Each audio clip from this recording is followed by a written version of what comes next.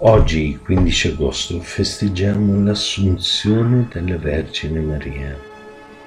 Come abbiamo detto per l'Annunciazione, per l'Immacolata Concezione e per la Vergine del Carmelo, molti sono i nomi mariani, cioè che ricordano gli attributi e le glorie della Madonna. I nomi, i nomi di Assunto e di Assunta sono anch'essi in onore della Vergine Assunta in cielo, la cui grande universale festa cade oggi ed è chiamata anche Ferragosto, dall'antico nome delle ferie augusti, cioè vacanze del mese di agosto. La devozione dell'Assunta è anch'essa molto antica e si potrebbe dire ornata di bellissime e poetiche leggende. L'arte cristiana è ricca di rappresentazioni dell'Assunta, specialmente nella scena che mostra il sepolcro della Madonna aperto e rigurgitante di fiori. Attorno al sepolcro sono gli apostoli, che la leggenda dice portati in volo all'annunzio della morte, anzi dell'addormentamento della Madre Celeste.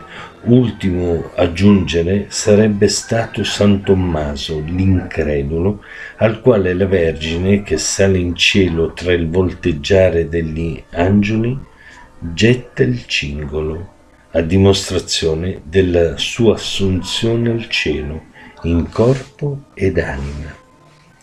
Perché il punto teologico è questo, Gesù ascende al cielo, diciamo così, di propria virtù. La Vergine invece è assunta in cielo per i meriti del proprio Figlio divino. Ma tutti e due, madre e figlio, sono già in cielo, corpo ed anima, promessa ed arra della nostra resurrezione e dell'eterna nostra gloria.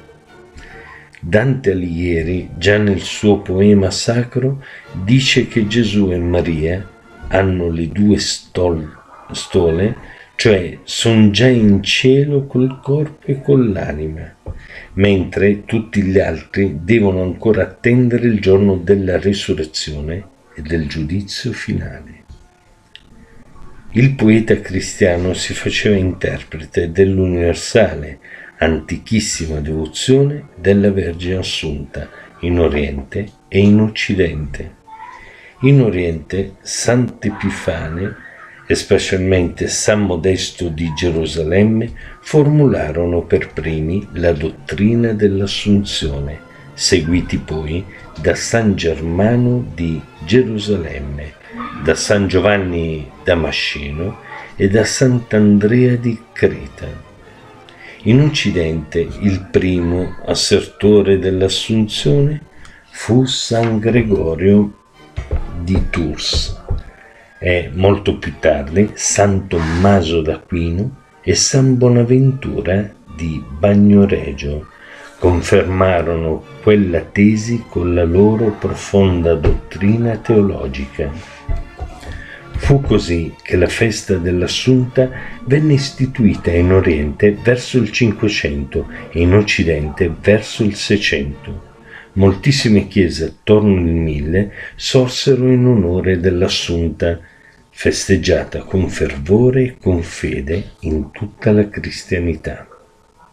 Nonostante ciò, la Chiesa, fino ai nostri giorni, non aveva posto il suo sigillo di infallibile autorità alla dottrina dell'Assunta, vale a dire non aveva solennemente ufficialmente proclamato il dogma dell'assunzione della Vergine al cielo. Per questo il Papa Benedetto XIV, che pure era devotissimo della Madonna nel 1756, poteva scrivere L'assunzione non è accolta dalla Chiesa che come un'opinione probabile e pia. Doveva toccare all'attuale sommo pontefice Pio XII la responsabilità, ma anche la gioia e la gloria di proclamare il dogma della Vergine Assunta, nell'anno giubilare 1950. Molti ricordano ancora quella grande giornata piazza San Pietro, fitta di fedeli commossi fino alle lacrime. La chiesa docente rappresentata da 300 vescovi, tutti gli ordini religiosi, migliaia di parroci a capo di pellegrini da ogni parte del mondo, tutte le nazioni, tutte le razze, tutti i popoli, tutte le lingue che ripetevano incessantemente le lodi della Vergine. Poi il silenzio più assoluto e il vicario di Cristo come una bianca apparizione tra la corona dei cardinali che con la voce sonora e chiara ripete, ma questa volta con l'autorità dell'infallibile Maestro, la formula già ripetuta nei secoli da milioni di fedeli. Maria è assunta in cielo. Alleluia. Quella mattina sulla cupola di San Pietro, per una felice congiunzione astronomica, erano visibili il sole e la luna.